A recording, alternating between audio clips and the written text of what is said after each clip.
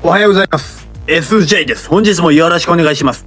これを聞いてくれた方はチャンネル登録の方ぜひよろしくお願いします。それでは始めましょう。いや、いよいよ当日朝を迎えました。井上、フルトン、あと清水、ロベシラミレスですね。はい。そこでね、まあ、今日は、まあ、ロベシラミレスと清水について、ちょっと話していきましょうか。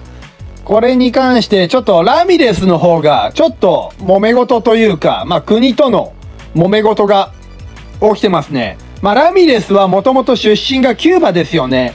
だが、これ、あのーキューバ側から、まあラミレスに、まあこ、まあ国旗を上げ、上げさせるなと、あとまあ、キューバの国歌を、まあ流すなという、まあ、通達が来たんですよね。日本側に。まあ、レミの側ですね、これは。まあ、これに関して、ラミレスが、いや、なんで、ふざけるなって言ってるんですよね。俺、俺はキューキューバを誇りに思ってると。だから、これちょっと、あのーまあ、詳しい事情っていうのはちょっとね、俺、俺はまあ、ネットでニュースで知っただけなんですけど、ラミレスっていうのは、だからキューバを捨てたわけですよね。捨てたというか、アマチュアの合宿中、メキシコで、逃亡したんですよね、ラミレスって。それでアメリカに渡ったんですよね。まあ当時、キューバではプロになれなかったんですよね。キューバっていうのはまあアマチュアを力入れてる国ですよね。なので、これ確かにキューバ側からしたら、うん、亡命しておいて、まあキューバを語るんじゃねえって、まあ確かにわからなくもないですよね。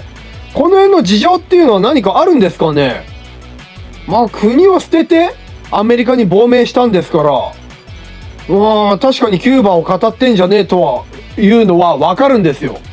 これって詳しい事情わかる方いらっしゃいますか？一応ね、自分の持ってるのはこういう見解なんですよ。うーん、まあそりゃそうだろう。もうキューバを語るんじゃねえっていうのもわかりますよね。この辺っていうのは何か事情あるんですかね？うん、まあ自由がどうのこうのって言ったってアメリカに亡命したんですからね。うん、どうなの？これあと試合中はアメリカの国歌が流れるんでしょうか？まあラミレスがその国歌斉唱の時ですね。まあ今アメリカ人ですからおそらくアメリカになるんでしょうかね。うん、どうなんでしょうかこの辺も気になるところですね。そして、まあこれ清水選手と、まあラミレス。試合展開どうなるかというと、まあ清水選手にも自分部が部がある、あるかなと思うんですよね。まあこれっていうのはまあ清水選手、まあドキュメントちょっと見たんですよね。YouTube で。清水選手のまあ軽いドキュメントというか、あったんですよ。まあそこで見るとやはり、まあ清水選手の左がすごい強力ということですよね。そしてあの高校生で、ユースですかね。ユースの世界チャンピオンになった方がいるんですけど、あれ兵庫の人ですよね。まあこの方が清水選手とスパーリングをして、まあ清水選手がめちゃくちゃ強いと言ってるんですよね。うん、このあたり、うんどうな、どうなるかというところですよね。まあ清水選手はあと年齢ですね。年齢が今37歳。まあ攻撃の面ではいいと思うんですよ。まあ37歳。うん、これ何が落ちるかというと、あと打たれず、打たれず強さがなくなっていくんですよ。あの30代後半になっていくと。まあ、これ、打たれた時どうなるかですよね。あのーちょっとね、ピヨりやすいんですよ。ピヨりやすいっていうのは、ちょっと、ダメージ、本当に受けやすいんですよ。ちょっと自分も、これはわかるんですよ。ちょっと自分と一緒にしては本当に失礼なんですけど、ちょっとね、あのーパンチを受けた時、前まで効かなかったものがやたらクラクラするとかね、感じてくるんですよね。30代後半になってくると。あとやっぱりボディとかもね、あのま筋肉が、筋肉が弱くなっていくというか、内臓がちょっとね、打たれ弱くなるというのがわかるんですよね。うん、なので、これ打たれた時どう感じてくるかですよね。あの、パンチ力自体は多分ね、そんなに落ちないと思うんですよ。あとやっぱり、反応がちょっと鈍るんですよね。そこで、だから、例えば今までジャブ簡単にもらわなかったんだけど、や、やたらもう反応できなくてもらってしまうというのも起きると思うんですよ。このあたりが、だから個人差はあると思うんですけど、どう出るかといったところですね。なので、自分はあの、清水選手が勝つとすれば、まあ、1ラウンドか2ラウンドに奇襲をかけて勝つと思うんですよ。そして、ラウンドが長引くと、ラミレスかなと思うんですよ。ラミレスが後半、うん、KO していくのではないかなと思うんですよね。ラミレスは、まあ、スロースターターというイメージがあるんですよね。まあ、ゆっくりゆっくりやっていく。まあ、これ、オリンピックの時のラミレスとはもう全く別人ですよね。もう試合を見てると。あと、まあ、オリンピックっていうのは、あれ3ラウンドですか？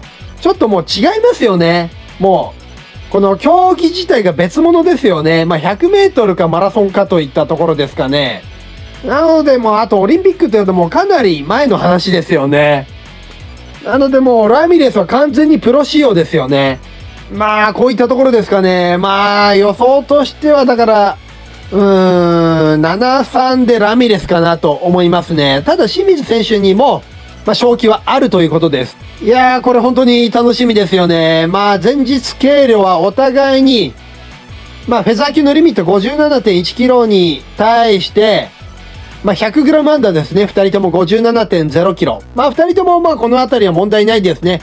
減量区というのも全くありませんね。まあ、清水選手に限っては、もう、計量の前日にはほぼ仕上がってたということなんで、まあ、これは本人が言っております。